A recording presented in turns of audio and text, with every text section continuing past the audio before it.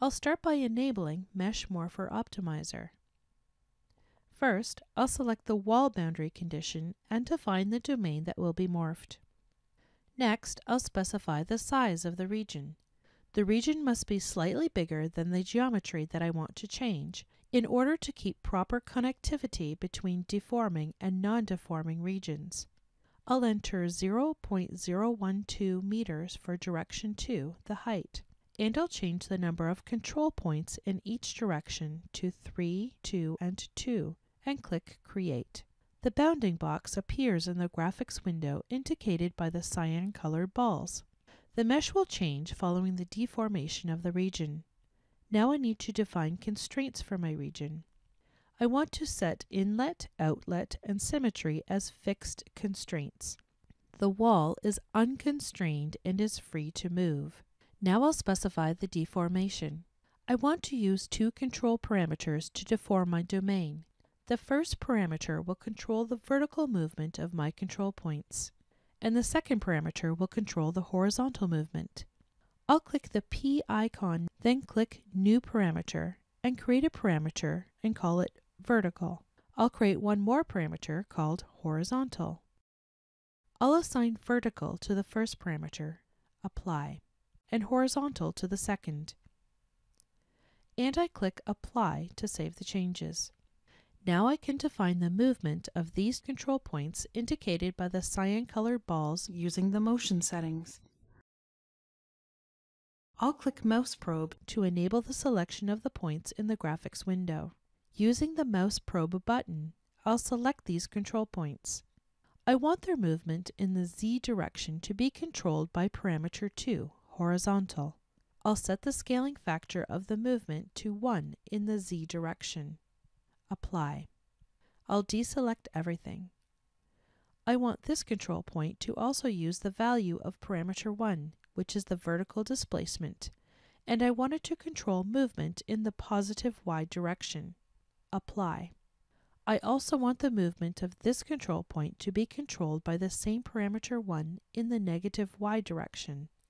Apply. Rather than doing this manually, you can read the previously generated file by using the Read option.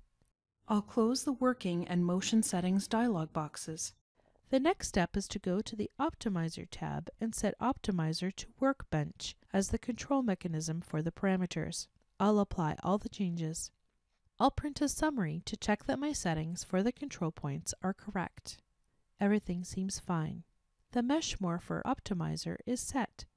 Lastly, I want to create an output parameter for the pressure drop in my system. I'll click Parameter System, and in the Parameters dialog box, from Create, I'll select Surface Integrals. I'll use the area-weighted average pressure at the inlet. Because the default static pressure at the outlet is 0 Pascal, an inlet pressure will give me the pressure drop.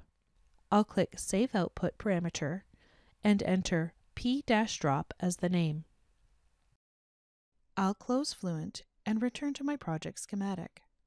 Now my simulation is set and ready for the solution stage of my analysis. The parameter set bar appears in the project schematic. Let's take a look at the parameters defined for the simulation. I'll double-click the parameter set bar to go to the Parameter Set tab.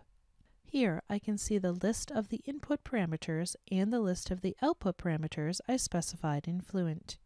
I'll return to the Project tab and initialize my simulation using the interpolation file I generated earlier from my original data. By doing this, I can save time because an interpolation file provides a much better initial guess, even for a morphed mesh. I'll click the solution cell to display its properties. In the Properties view, for the initialization method, I'll select the third option, Use Solution Data from File. The initial data file cell appears below Initialization Method. Next, I'll copy the path of my interpolation file. Click Browse File next to Initial Data File, paste the path into the address bar, and open the containing folder. I'll select the interpolation file and click Open. I'll update the solution cell. Once my problem is solved, the state of the solution cell becomes up to date. My simulation is complete. In part 3, I'll continue with finding the optimal solution for my problem using design points.